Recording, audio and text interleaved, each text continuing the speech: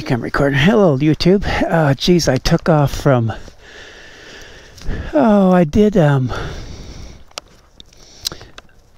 Rocky Mountain National Park yesterday. I started off in Georgetown, Colorado, rode up to Granby, and did um, Estes Park, the Stanley Hotel. Then from there, I started home.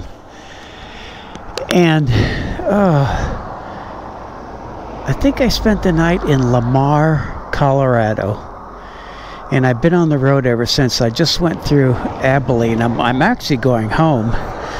So today I'm already at 536 miles. I probably got 150 miles to go home, but I've been running through rain. I don't know if you can see this, but the rain, the it was so much rain that the the mud fields were just flowing into the road and I didn't see it. I saw a car hit it ahead of me and I thought, well, maybe hit outside of the road. So I, I kind of moved over and I slammed on the brakes and it just went boosh.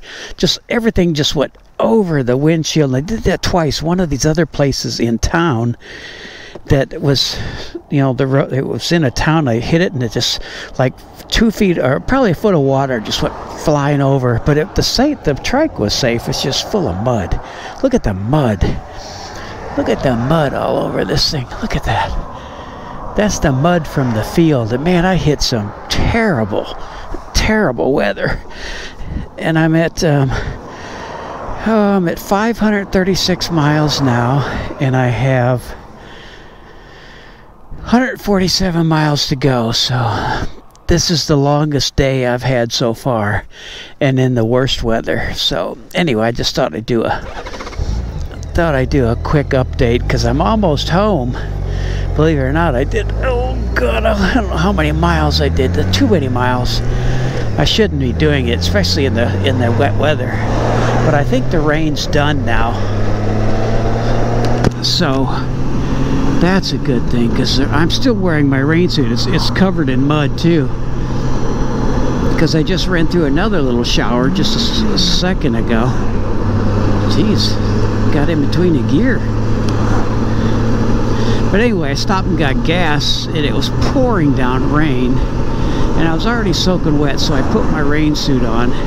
And it was raining so heavy I just drove right over the curb. Didn't even go in the driveway to, to drive out on the road. I just popped over the curb because I couldn't see.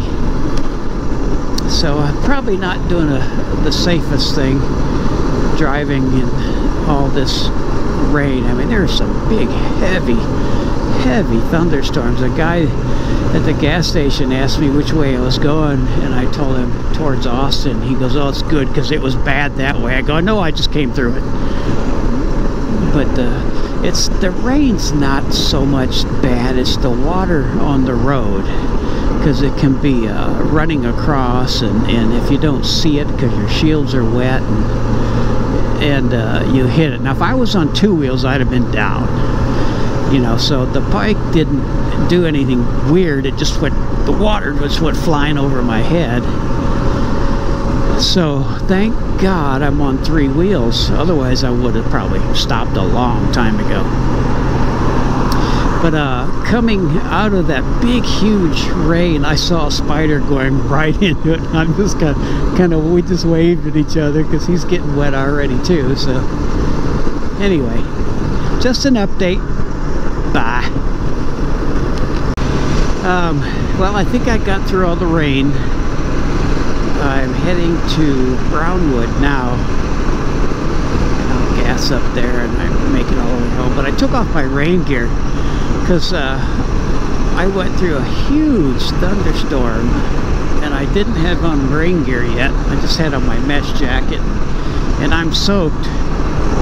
My arms are soaked, my pants are soaked, so I'm kind of, you know, I hit, it was 90 well, I think I hit like 95 degrees, so I put on my wet vest. And not too long after the wet vest I put on, I ran into thunderstorms. So I didn't have on my rain gear because it was too damn hot anyway. But anything, when the thunderstorms come through, it the temps drop, so it was down to like 72. And 72 when you're wet is a little chilly. But now it's uh, back up to 86 so I should dry out dry out pretty good but look at this mud check out the mud. That's terrible. Anyway, I should be home by 9.45. We got 133 miles to go. So, it'll be good to get home. Hard to believe. Yesterday I was at Rocky Mountain National Park enjoying the beautiful scenery. Now I'm you know, welcome to Texas when I gotta stop and put my wet vest on, otherwise I'll cook. Anyway, bye. Well, I'm all dried out. I dried out in minutes. But uh, back to 92 degrees. What is it? Uh, 7.43 in the evening. It's 92 degrees.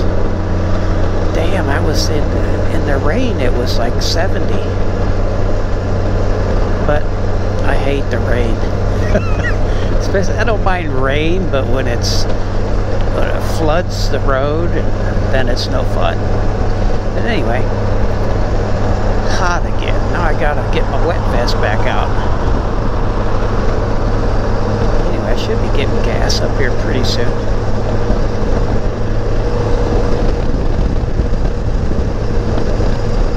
Anyway, bye. Boy, I tell you what, there are more times than I want to count today that I was pushing it on uh, fuel. Out in the middle of nowhere, you go through these little towns, there's no gas stations. So twice I was down to like, my, my fuel light came on twice and I'm out in the middle of nowhere.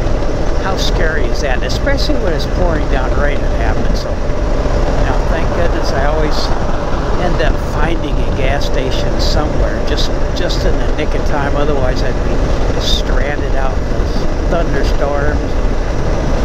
You know, but I did find gas. Just did, did find gas just in the nick of time. Anyway, bye. Okay, my last fill up that'll get me home. I only got 116 miles to go.